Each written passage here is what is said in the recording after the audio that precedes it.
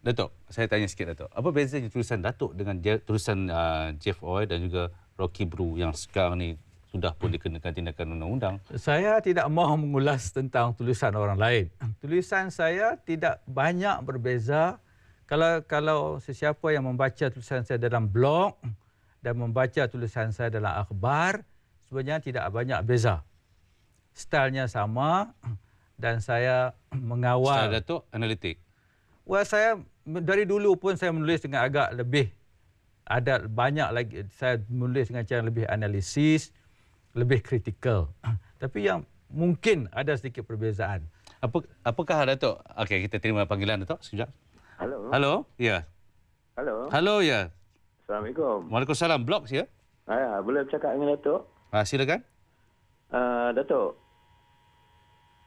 Saya, saya, saya. Uh, saya ingin uh, meluahkan sikit pandangan dan pendapat lah, Datuk. Mm-hmm.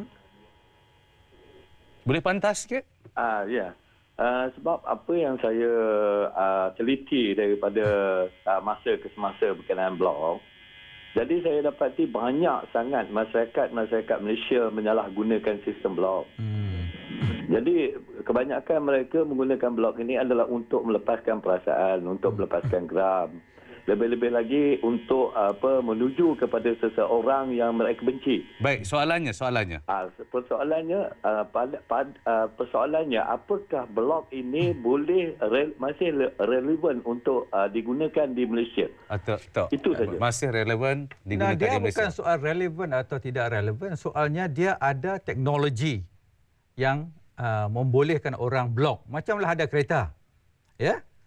Uh, ada kita ada kereta kadang-kadang kita bawa kereta kita kita uh, mengalami kemalangan orang mati. Jadi jadi adakah kerana ada orang mati kerana dilanggar kereta atau kerana kemalangan kita kata jangan pakai kereta. Blok pun serupa.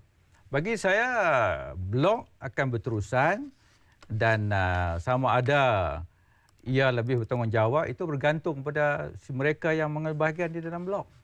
Ya, Datuk. Okey. Apakah Datuk juga sebagai seorang penulis, Datuk sendiri dapat merasakan bahawa Datuk juga boleh memesongkan pemikiran orang? Eh, memang sesiapa pun boleh memesongkan pemikiran orang, bukan blogger saja. Saya rasa mengapa orang baca blog hari ini sebab cukup ramai orang berpandangan, berperasaan bahawa media arus perdana juga memesongkan mereka.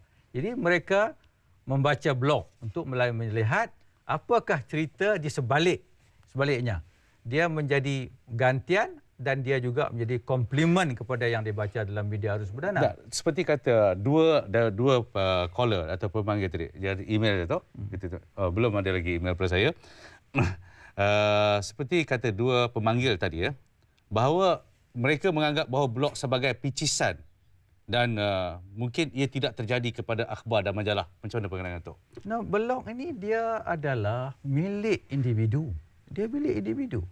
Kalau individu itu seorang yang um, berlaku adil, dia menulis dengan adil. Kalau seorang uh, pemilik blog itu dia seorang yang suka mengata, dia mengata.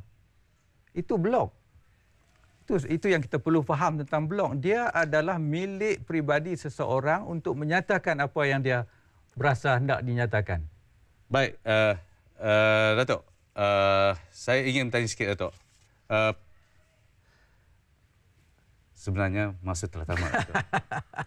so kita tidak boleh menyelesaikan apa-apa dalam masa yang terlalu singkat jadi, ini. Jadi ya. saya ucapkan terima kasih banyak. Terima kasih. Terima kasih.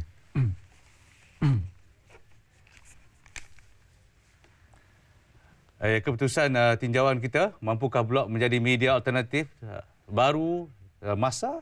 Jawapannya 94% setuju dan hanya 6% saja tidak setuju. Oh.